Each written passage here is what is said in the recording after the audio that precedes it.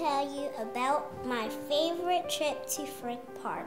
We learned about the meadow habitat and we learned about all the insects and we had fun. We learned about flowers and plants. Next, we took a walk in the meadow. We collected seeds and samples. And then looked under the magnifier. Last, we made a stewardship project to help the meadow. We made seed balls.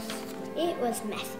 We threw them in the meadow. It was super duper fun. I love my trip to Frick Park. This experience that the children get through this Habitat Explorers program is absolutely amazing. It's priceless. I want to see the real life experience. So when we go to the park, we see what is going on. We work with the teachers, with the administrators um, to meet the standards they're trying to meet, to uh, cover the curriculum content that they're trying to meet. When you have a whole park, it's not that hard to meet those criteria because you have everything.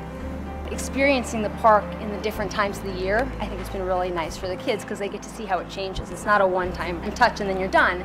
It's more of a an ownership thing. We're part of a program, we're part of something bigger. Definitely seen a change in the kids. They love it, they're excited about it, they look forward to it. All of STEM is based on happens outside.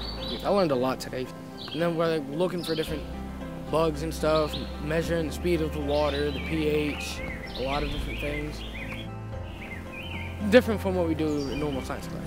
In our science class, we teach a lot about the ecosystems and different habitats that are around the world. And I think that for the kids, it gives them a hands-on experience and some exposure to something that's very close by to where they live to kind of see, you know, how what we do up there affects what happens down here. If you brought like a random bug from outside and put it in the classroom, I couldn't touch it. But if it's outside, so sure I'd touch it, yeah when we increase their level of comfort in the outdoors, we increase the number of experiences that they can have all the way through life, at home, at school, and into the future.